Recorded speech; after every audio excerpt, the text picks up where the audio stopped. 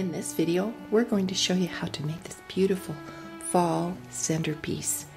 I think you'll really enjoy it. And if you're not into piecing as much as this involves, then the pattern also has just a simple centerpiece that's just using a beautiful fall fabric. And I think you'll enjoy this video. Now, Xerox sure leaf sides. You're going to make 12, six of each, a left and a right. And you're going to start paper piecing. If you're not familiar with paper piecing, look at some of our other videos. But it's really fun and very easy. You're going to start with area one and you cut a piece big enough to cover area one and it's right side away and all of your fabric is placed on the unprinted side of the paper pattern and you hold it at the light and make sure all of area one is covered then you whack a piece big enough for area two and you place it right side down so the bulk of the fabric is opposite where you're trying to cover and you hold it down and then sew that whole line using a smaller stitch length. Trim the extra out of the seam and it folds back and covers area two. And I'm just going to keep doing that all the way down. Then I'm going to cut cut it out on the leaf shape. Take the paper. Now I'd out. like to show you how to uh, get around a problem that paper piecing has. And this particular pattern does have that problem. Sometimes you can design your way out of it, but this one I couldn't. The area that needs to be covered here is wider than the area that needs to be sewn. So when I lay my fabric down and it flips out, sometimes this area is not covered, and that can be frustrating. So one way around that is place don't whack your fabric first. Just place the whole piece down like that. Big much bigger than you need.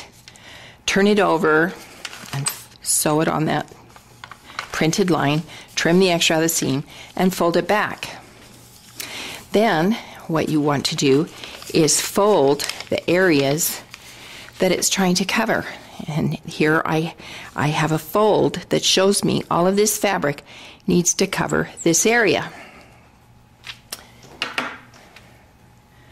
So then it's really easy to trim the fabric exactly where I need it, and I know that that point is going to be covered. So that's just a little trick. The two sides have been paper pieced all the way down. This dash line you don't paper piece, that is a fold line for your leaf. Then you're going to cut it out on the outside solid line. Take your paper out and put the two sides together and sew them using quarter inch seam or whichever seam you use. Make sure it's if it's less than a quarter of an inch, that's fine. Just make sure they're all uniform. Then I cut out my fusible fleece or felt, and then I cut it smaller and fused it to the to the um, wrong side of my pieced fabric.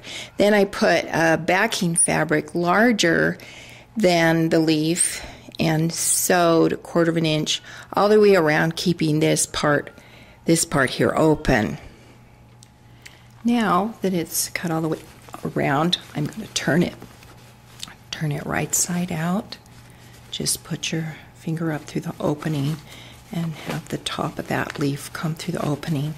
And then I'm going to press it, making sure that all the points and all the shapes are well defined.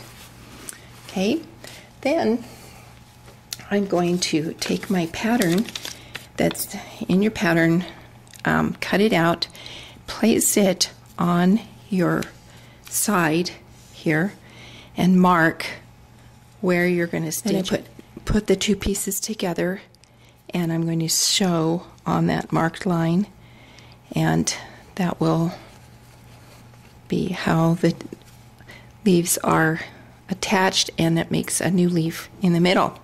And then we're going to do that all the way around to the six sides and you'll see how adorable now this here is. is our beautiful centerpiece finished. It is just wonderful and it was fun.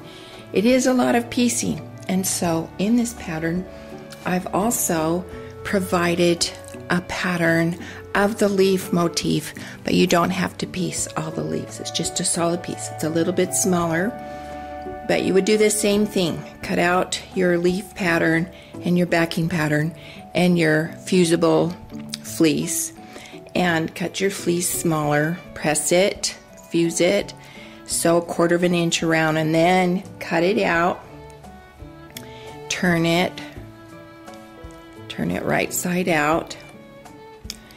And I like to hand sew this opening closed. Just tuck it under so that it looks nice and then just blind stitch it.